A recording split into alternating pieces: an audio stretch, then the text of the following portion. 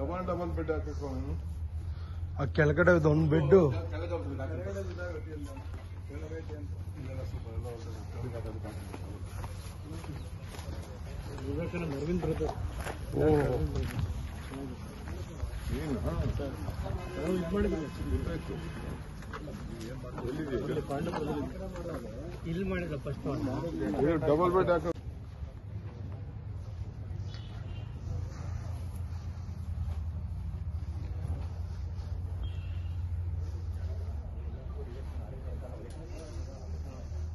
Double double bed ಹಾಕಬೇಕು ಅವನು ಆ ಕೆಳಗಡೆ ಒಂದು ಬೆಡ್ ಕೆಳಗೆ ಇದೆಲ್ಲ ಎಲ್ಲ ಹೊರ್ಗಡೆ ಕೆಳಗೆ ಹಾಕೋದಕ್ಕೆ ಹಾಕ್ಬೇಕು.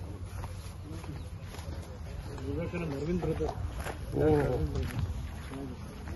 ಏನು ಇದು ಗೊತ್ತಾಯ್ತು ಎಲ್ಲಿದೆ ಇಲ್ಲಿ ಮಾಡಿದ ಫಸ್ಟ್ ಡಬಲ್ ಬೆಡ್ ಹಾಕ